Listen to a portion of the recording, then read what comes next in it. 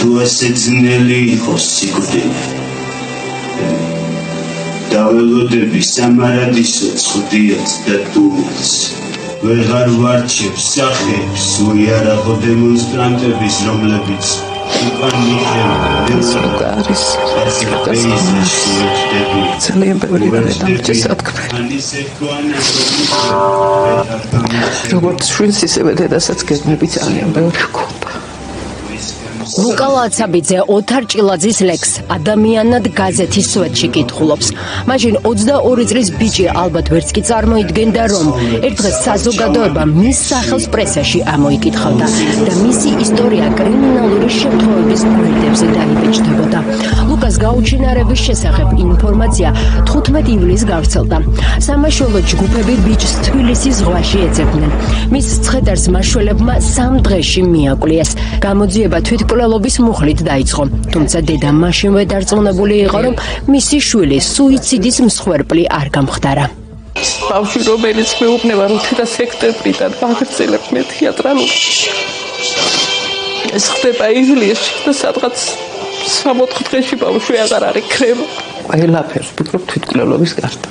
უერთური შემთხვევა იმ ადგილზე იმ დროს ამ ღამის 3 საათზე ამ ქარში თან როცა ვიცი რომ მიდის ბასიანზე ამ დროს აღმოჩნდა თბილისის ზღვაზე. აწირვა რომ იმიტომ რომ ის შენზე წინ არ წავიდეს და იმიტომ რომ ამან რაღაც დაინახა იმიტომ რომ ამას ეს არ უნდა დაენახა რაღაც საქმეში არ უნდა გარკვეულიყო.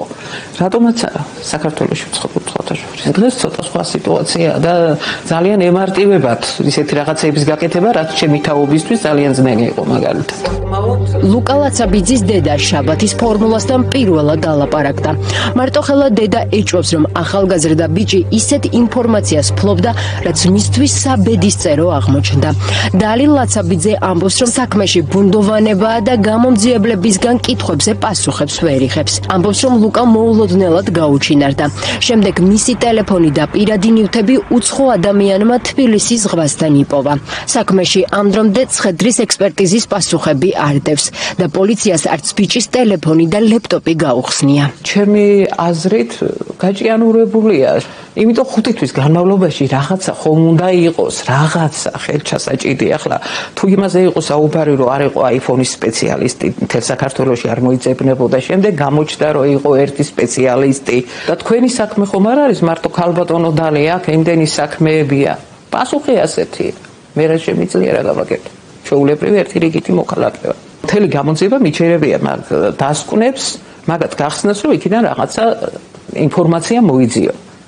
გავიდა ფაქტიურად ხუთი თვე და არაფერი არ ჩანს. საქმე არის გაჩერებული ერთ ადგილზე. ამიტომ ვიძახი ბორუსით არის მოცული საქმე. რა დასკვნასაც დამიდებს გამოძიება, რა ვერსიასაც ყველაფერი უნდა იყოს დასაკუთრებული. დალი ლაცაბიძეს არც დაზარალებული სტატუსი აქვს, ამიტომ საქმის მასალებს ვერ ეცნობა. ინფორმაცია საქმიდან, რომელიც ერთადერთი შვილის დაღუპვას ეხება, მცირე რაოდენობით და მტკიცებულებების გარეშე მხოლოდ გამომძიებლების მონაყოლი დანიგებს. ქალმა იცოდა, რომ მისი შვილი გაუჩინარების დღეს კლუბ ბასიანზე მისვლას გიკმავდა. ბიჭი დედას ეუბნებოდა, რომ ამავე კლუბში დასაქმებული იყო. ლუკას დაღუპვის შემდეგ კი ქალმა პოლიციისგან შეიტყო, რომ ბიჭმა ღამის 3 საათზე იეთიმ გურჯის ქუჩაზე ნაკირავებს სახთან ტაქსი გამოიძახა და ბინა დატოვა. გადაადგილების ტრაექტორია საცვალთვალო კამერებმა დააფიქსირეს.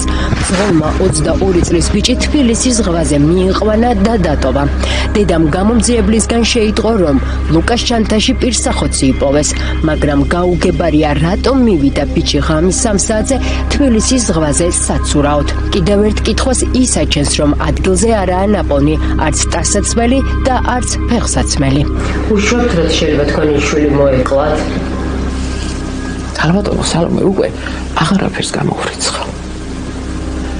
ლუკა თავს არ მოიკლავდა. თვითკვლელობა ეგ თვითონ მაგას გამოძიებაც გამორიცხავს. იქიდან ან ვიღაცამ დაურეკა რაღაცა ან უნდა შეხვედროდა იქ ვინმეს. და მეგობრული ურთიერთობა. მე ვფიქრობ ერთადერთი აი ვერსიად შეიძლება თქვა ის რომ იქ ვიღაცა დაიბარა.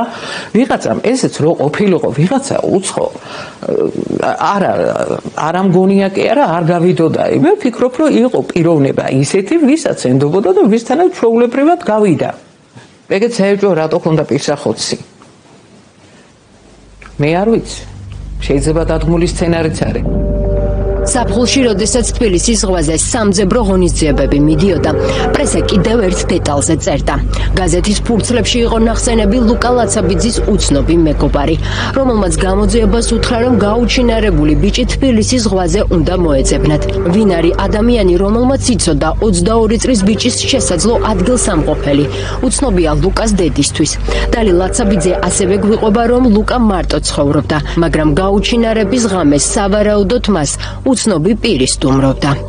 ეგ ჩემში ძალიან დიდ ეჭვს რომ ლუკას დაეტოვებინა სახლის კარები ღია და ისე გასულიყო მაგრამ რატომღაც კარები იყო ღია და გასაღები იყო შიგნიდან კარებში. სახლში ჩხრეკა ჩაატარეს ქალბატონო სალომი ზუსტად გვამი რომ ნახეს იმ სახლს. იქ მე რო შევედი ნახე ორი საფერფლე ორი გადავსებული საფერფლე კი ღვინო ფოთლით იდგა დაიჭიქით თუ ვინმე მის უთხრა რომ ლუკა თბილისის ზღვაზე უნდა გასულიყო ღამის 3 საათზე მაშინ იმ მეგობარს ისიც ეწოდინება რატომ უნდა გასულიყო ოჯახის და ნათესავების ინფორმაციით 22 წლის ლუკას ორი სამსახური ჰქონდა. მისგან იცოდნენ რომ მუშაობდა ბასიანში. ნათესავები და ადვოკატები ეჭვობენ რომ მისი მეორე სამსახური კოლ-ცენტრი იყო. ეჭვს კი ის უმყარებს რომ ახალგაზრდა შეძლებულად ცხოვრობდა. საქანელა მომიტანა საჩუქრა და რო შემოიტანა შემოვიდა დაждდა ჩვეულებრივად იყო. ეს ძვირადღირებულ საჩუქრად როგორ მეტყობა? რა ვიხა, ჩვენ ფიქრობთ, სადაც მუშაობდა, იქ ქონდა ხელფასები, სხვაგან ახლა ჩვენ არ ვიცი სად მუშაობდა. თვითონაც იცი როგორ იყო, ანუ თელი კვირა რო ეძინა მეგობრებთან იყო რაღაცა, იმ ორ დროს მიდიოდა ხოლმე იქ პასიანზე, ძალიან მალე მოკლევადაში მივიდა და წამოვიდა. სადმე არის იქ ტერიტორიულად თუ იცით? არა ვიცი.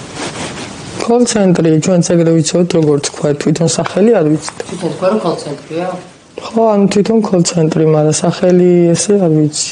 ვიღაცის გაწირულია. ეხა შემთხვევით იყო დაგეგმილა თუ რაღაცა თვითონ იმან იცის ვინც იყო. ჩვენ არაფერი არ ვიცით ის რომ ლუკა ლაცაბიძე კლუბ ბასიანში მუშაობდა ჯერ კიდევ ივლისში. საძიებოს სამუშაოების პარალელურად უარყო კლუბის ადმინისტრაცია. მენეჯმენტი ინტერვიუზე ამ დრომდე არ თანხმდება მაგრამ პირადი საუბრების დროს კატეგორიულად ამტკიცებენ რომ ბიჭს მათთან შეხება არ ქონია. ლუკა არც დასაქმებულთა სიაში ფიქსირდება. დაწესებულებაში გვეუბნებიან რომ შემთხვევის შემდეგ პოლიციამ კლუბიდან სათვალთვალო კამერების ჩანაწერები ამოიღო.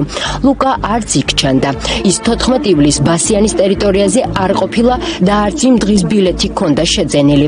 ბასიანის ადმინისტრაცია გვიდასტურებს, რომ გამოძიებამ კლუბის დირექტორი გამოკითხა. ადვოკატსაც ეჭვი აქვს, რომ ლუკას გარდაცვალება მის მეორე სამსახურს უკავშირდება. შესაძლო არის თვითონ ჩანთა და მობილურიც არის მიტანილი შემდგომ. ზურათქირებული iPhone-ი დევს არავინ არ იღებს და უბრალოდ ტანსაცმელი ხრება. მე ვთვლი რომ ტანსაცმელი იყო კვალის დაფარვის მიზნით წახებული. აგრეთვე მუშაობდა კოლ-ცენტრშიც, შემთთვის როგორც ცნობილი არის, ქალბატონ დალისგან ისე უბნებოდა რომ აქ ისეთი რაღაცეები ხდება, რომ შემთთვის მიუღებელი არის და მე ვერ შევძლებ აქ მუშაობას. მე ვფიქრობ რომ უკვე კონფლიქტია, როდესაც იძახის რომ აქ ისეთები ხდება, რომ საჩემო არ არის. შესაძლოა რომ მოეშორებინეს თავიდან? სრულიად შესაძლებელი არის. საქმეს ლოტკინის პოლიცია იძიებს გამოძიება საეჭვო ვითარებაში დაღუპული. ლუკა ლაცაბიძის დედას უყვება რომ თბილისის ზღვაზე იმ ადგილას სადაც ლუკა ტაქსიდან ჩამოვიდა სათვალთვალო კამერები დამონტაჟებულია. მაგრამ შემთხვევის ღამეს არც ერთი მათგანი არ მუშაობდა. მობილურ ტელეფონს და ლეპტოპს კი ექსპერტები იმიტომ ვერ სწავლობენ რომ სპეციალისტები საქართველოში ვერ მოიძიეს. ოჯახი მეხუთე თვეა ლოდინის რეჟიმშია გადაკვალიფიცირება საქმე როგორც ვიცი. მიგითხარ. დედა. მარუს ხა დედის მონაცემები და დოქტორია ოს გამოძები. იცის ხო 114 მოხდა ჩვენთან. გადაკვალიფიცირებას უნდა კავშირით არის სწორი ინფორმაცია აქ დედას. არ ვიცი დედას ვინ აუთხოვნე. გამოძება. თქვენ ძენდებით საქმეს გამო. გამოძება და არა ვერაფერს ხენგვარი. დედა ამბობს ასევე რომ არ იხსნება მობილური ტელეფონი, ლეპტოპი და ეგეთ რაღაცებზე გეცოდი მისმენთ. ეგეთ რაღაცებზე იცით როგორც უნდა მოგვართოთ ჩვენ და შესაბამისად იცით ხო ხო იცით შესაბამისი წესია ეს ინტერვიუს ხო რა თქმა უნდა ეს შესაბამისად ეს ინტერვიუს არ ვიცლებით ახლა. საქმესთან დაკავშირებით ოთხი თვე რატო არ მოხერხდა გახსნა ლეპტოპის და ტელეფონის ვერ გიპასუხებთ მაგას. მაგას ვერ გახსნილია? ვერ გიპასუხებთ ასევე გვეუბნება გადავამოწმებ მაინც ინფორმაციას რომ სპეციალისტი არ არის საქართველოში ვინც iPhone-ის ტელეფონს გახსნეს ვერც დაგიდასტურებთ ვერც დაგიდასტურებთ და ვერც უარყოფთ. მსული ექსპერტიზის პასუხი. ყიდად მეკითხებით ლუკა ლაცაბიძის დაღუპვის საქმეზე გამოძიება თვითმკვლელობამდე მიყვანის მუხლით. მეხუთე თვეა უშედეგოდ გრძელდება. ოჯახი ეჭვობს, რომ ამ საქმესაც ბევრი სხვა 115 მუხლით არსებული ბურუსით მოცული საქმის მსგავსად, რომელზეც მხოლოდ მედია რეაგირებს, გამოუძიებლად დატოვებენ. ადამიანი გავსი ქვეყანას, რომელსაც მისი სამშობლო ჰქვია. სამშობლო თავს ურჩევნიათ ადამიანებს და არა მონებს.